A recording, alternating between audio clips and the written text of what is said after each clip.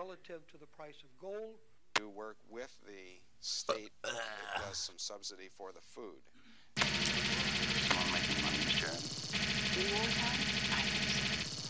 And I don't, and I may never see y'all again.